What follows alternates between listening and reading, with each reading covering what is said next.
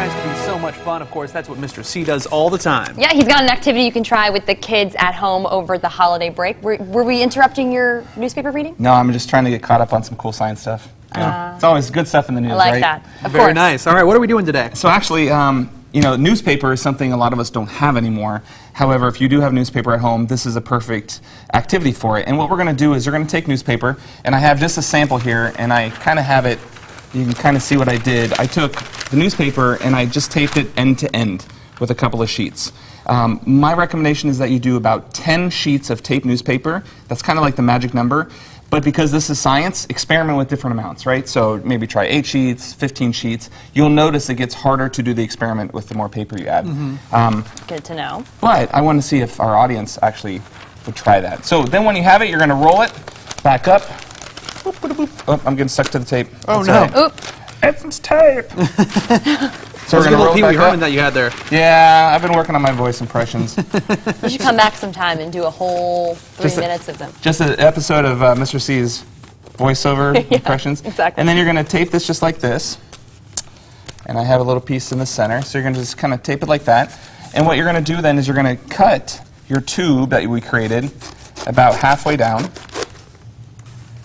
into quarters. I'm, I'm curious of where this is Yeah. going. Me too. Usually I have an idea of where an experiment's going. I have no clue. So this is this is just kind of a fun activity. It's kind of when you put the art into STEAM, you know, science, technology, engineering, art, and math. This is kind of the artsy part of it. Um, and as you can see here, I, this is the third snip, and we have one more. You're basically making like a palm tree here. Yeah, it's like you know, I in the like that. winter, it's hard to grow plants. So I thought, with some recycled newspaper, you know, reduce, reuse, recycle, you can take this. You grab the inside sheet, Whoa! and then you can make a little tree. And I would have never guessed you would have gone there. Yes. Yeah. Well, That, that deserves a round of applause. Really does. so we're gonna go there. Okay, let's go there. I brought along, and what's cool is you can wrap like a, a sheet around it, and it's already looks like it's made. You can do it so with then you can leftover grab, wrapping paper, look, too. Look, all wrapping paper. I brought some of that for us to try. So for the next couple of seconds, Zac, there's one for you. Where do you yank it up? So hold on, hold on. Wait, look at her. I got excited. It's Okay, Santa. You're gonna pull it from the center one. You're gonna pull it from the center oh, one. sorry, I didn't mean That's to all get right. ahead of From the center I'm one. terrible at this. This- Wait. No, you're not terrible at don't. That's the one thing I want to say is it's okay to make mistakes in science. It doesn't have to be perfect half the time. Go ahead and pull it out. What? Right? Look at this one. Woo!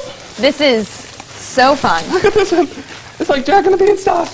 It really, though. It's, it doesn't even do it justice. I'm going to try to hold it out. Oh, timber. Oh. I, mine fell. So Sword you fight. can- Boom. Sword fight. Oh, that didn't work out. So I'm just going to put that around my neck. It's beautiful. That's a good scarf So for you. if you have extra extra wrapping paper, here Zac, let's do another one. Julie, let's Yes. do another one. I've got enough. You can do wrapping paper. I'm going to give you the striped one, looks Okay. like a candy cane. So what you're going to do is you're going to flop it open, just like this.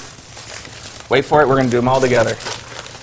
Oh yeah, Okay. Zac's still working over there. I want to see how high I can get it to go.